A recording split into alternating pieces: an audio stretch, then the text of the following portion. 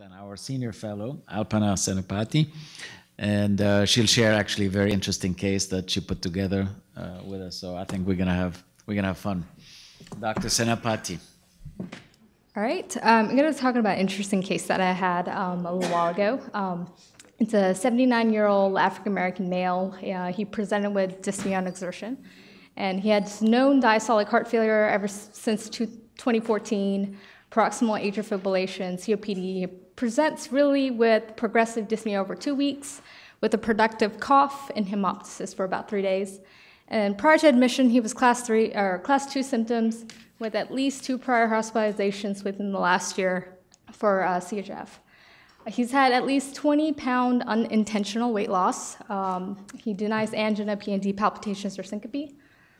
Uh, his past medical history, he has paroxysmal atrial fibrillation, diastolic heart failure, underlying stage 2 CKD, and he does have a history of recurrent pleural effusions, mostly on the left-hand side, requiring multiple thoracenteses uh, hypertension, pulmonary aspergillosis that was treated in the past. Um, family history, cervical history, really nothing significant. He was a longtime smoker, quit uh, in 91, um, no alcohol abuse that we know of, and his medications are listed there. He's on warfarin, 7.5, furosemide, 40 milligrams BID, dofetilide for his atrial fibrillation, and uh, really uh, nothing else that was really cardiac-wise significant. So in physical What's- exam, Who labeled him diastolic heart failure? So that was, um, so he was new to our institution at that time. Um, so we're assuming he was probably followed up with his PP PCP, and uh, it, he's not the gr- greatest follow-up in terms of uh, whether or not he had a cardiologist that was taking care of him in the past. So that that's unknown. And his INR was okay? I'm sorry, what? INR was okay? yes. Okay. Yes, he was uh, fairly therapeutic most of the time. Okay. Um, so his blood pressure on presentation, uh, blood pressure is 113 over 75. Um, heart rate, so he's normal retentive. Heart rate is 84. He's afebrile, uh, oxygenating okay. Uh, really, what's remarkable, his uh, his BMI is 16. So this is a Goodness. about a six feet tall guy and weighs 120 pounds. So uh, he's uh, fairly cachectic on exam. Um, did have a significant JVD to the angle of the jaw, um, had a positive S3 and decreased uh, by base lower uh, breast sound. So clinically, he was in heart failure. So uh, pertinent labs, um, you know, his creatinine is 1.3, potassium was a little bit up, um, albumin was low, uh, about 2.9. Um, white count was a little bit low as well, and his BNP was elevated, 637. The troponins were negative. His INR was therapeutic, 3.3. Um, uh, TSH was normal, and blood pressures were negative.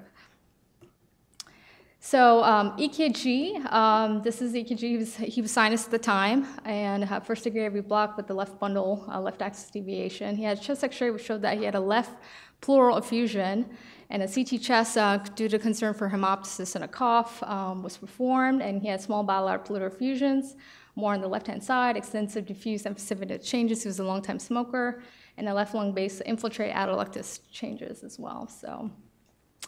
So for his echocardiogram, um, if you can play some of the images, please.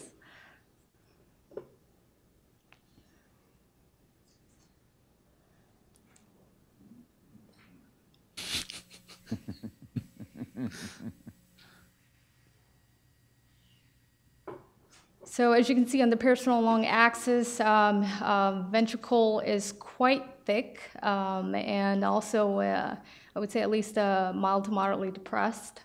RV looks a little bit sluggish there as well. Atria a little bit hard to see, but it looks a little bit enlarged, so he does have a pleural effusion there. On color Doppler, you don't see any significant mitral regurgitation or aortic regurgitation. In the uh, apical four chamber, you do see that his uh, atria a bit enlarged. In the subcostal view, you also see that he probably has some RVH as well, right? Ventricle Has hypertrophy. a lot of RVH. Yeah. Um, so, um, Interatrial septal. Yep. Yeah, so this, uh, so uh, I'll get it along with some of the, the some of the other interesting findings that he had as well. So in tissue Doppler, as you can see, he had a mitral inflow was um, high E, low A. Um, tissue Doppler severely um, down. Wow. Um, so you know these are all pointing towards his uh, really. Is it like two centimeter per second or something? I can't see from here. It's, Yeah, it's you- almost you- non-existent. It's no? fairly non-existent. His tissue Doppler, exactly. So, um, so you know, what based on the information that you have, what what, what do you think is the most like like diagnosis at this point? Look at you people go. They're gone.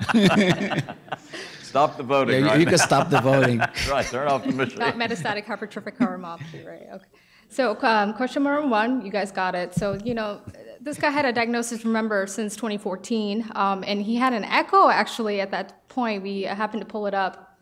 And uh, it, you know, his LV function was pr- preserved in 2014, but um, his echo really didn't look that much different. He still had severe concentric hypertrophy, and uh, really to highlight that this is something that really, we really need to think about.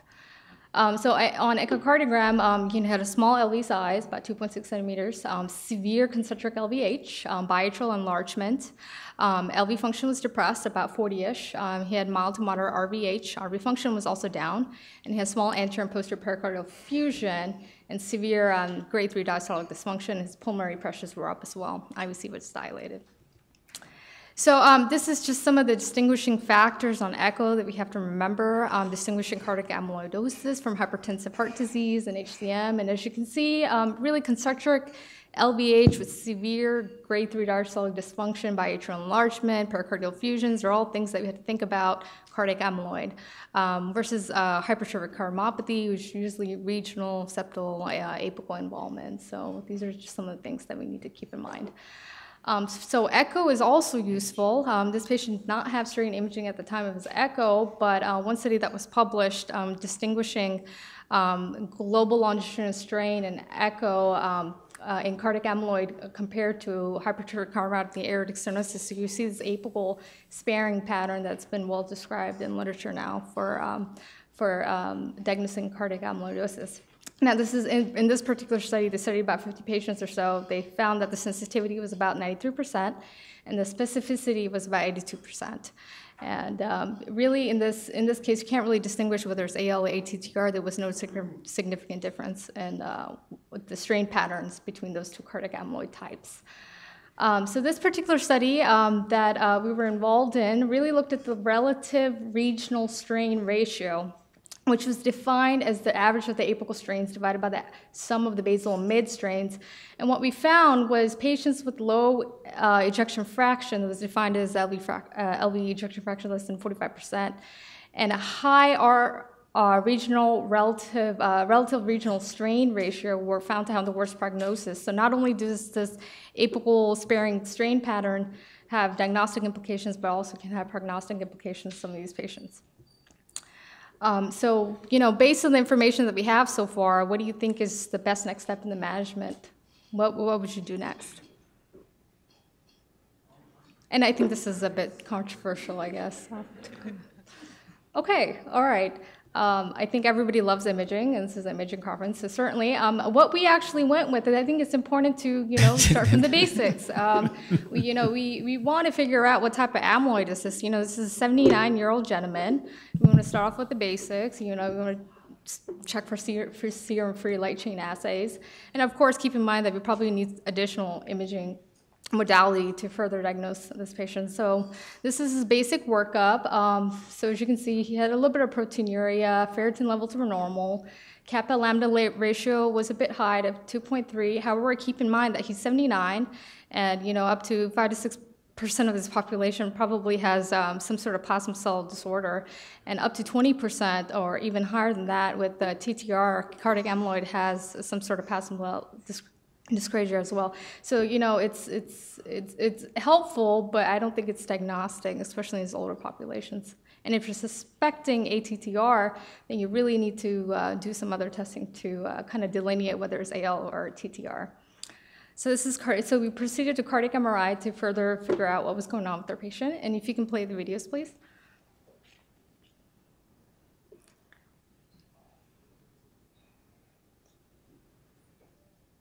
Okay, so as you can see here, um, this is the uh, his cardiac MRI. As you can see here, severe concentric LVH, also um, RVH, biatrial enlargement.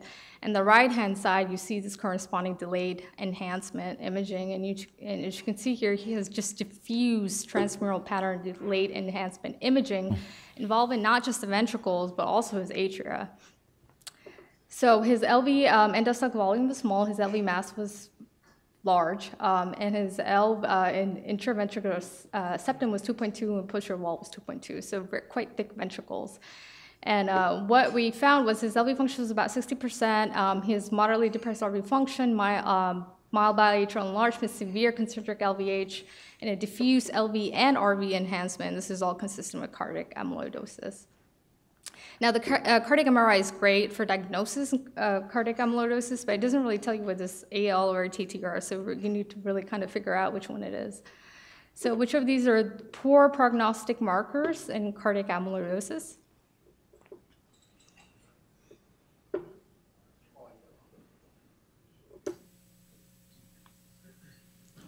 Okay, great.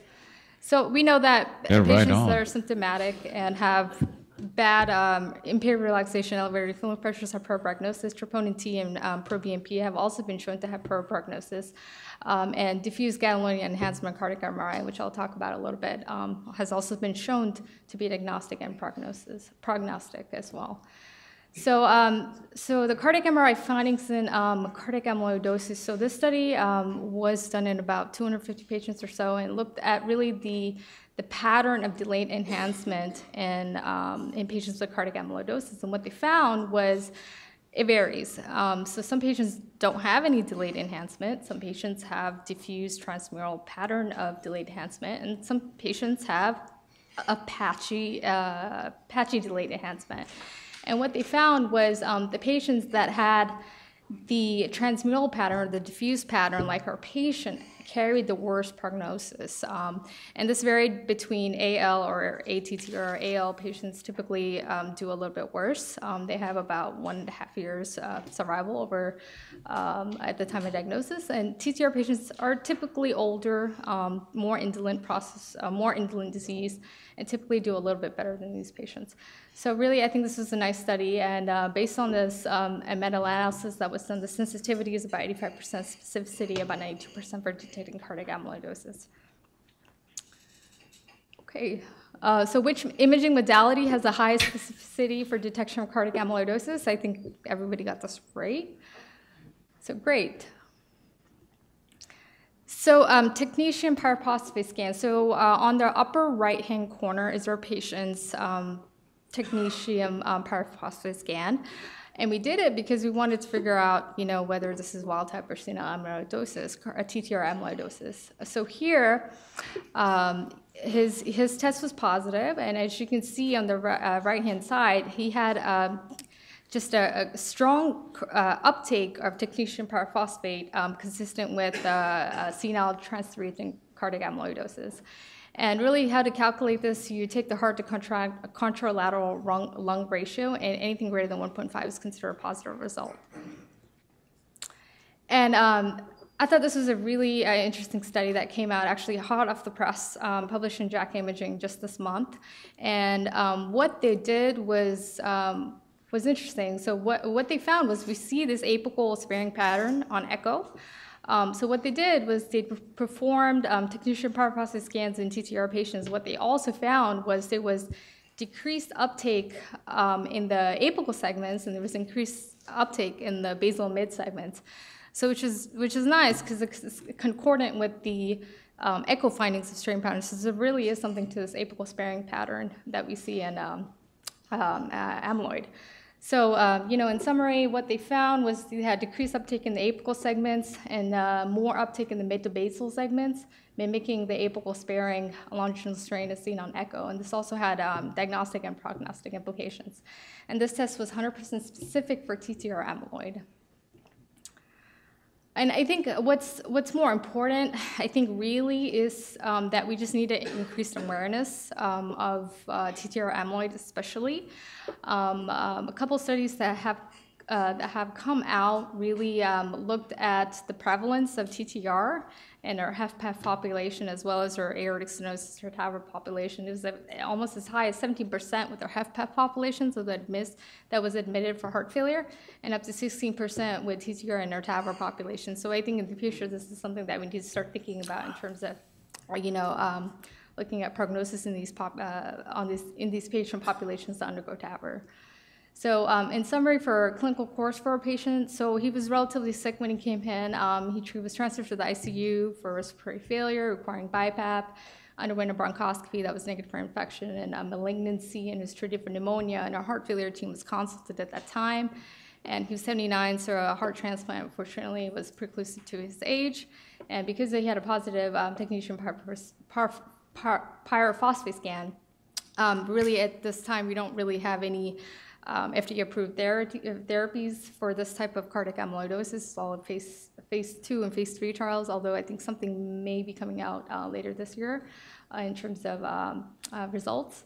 And um, palliative was consulted, and he's uh, at least had two, at least, uh, actually more than that, two or three hospitalizations since his diagnosis. So He's uh, kept on optimal heart failure medical therapy, but at the same time, you know, there's really nothing um, at this point that we can do for this patient other than just kind of follow him very closely and treat his heart failure. So Very thank you good. for Very good, Excellent. Alpana.